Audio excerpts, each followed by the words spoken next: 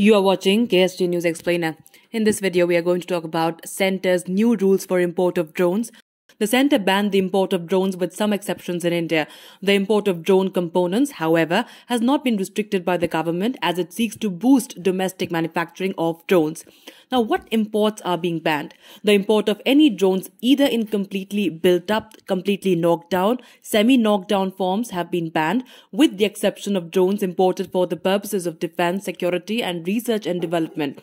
Anyone looking to import drones under the exemptions will be required to obtain clearances. The move is aimed at giving a boost to domestic manufacturing of drones, which is seen as a sector that is set to witness rapid growth this decade.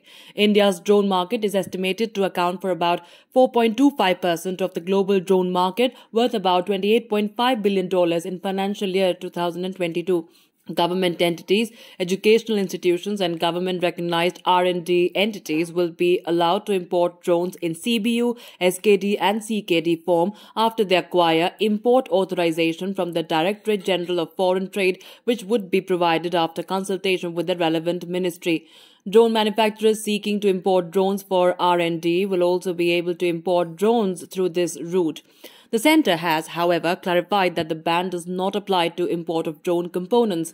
The government has noted that the ban is in line with government efforts to boost domestic manufacturing of drones. Going into some background details now. The new drone rules 2021 notified in August 2021 have reduced both compliances and fees required to operate drones. The Civil Aviation Ministry also launched an airspace map of India on the Directorate General of Civil Aviation's Digital Sky platform, which demarcates the areas where drones can be used without permission and areas in which drone operators cannot operate drones without obtaining prior permission from government authorities. That's all we could pack in in this edition of KSG News Explainer. Thank you so much for watching. To join KSG India courses and to crack the IELTS exam, visit ksgindia.com. You can also get a PDF of this explained on ksgindia.com.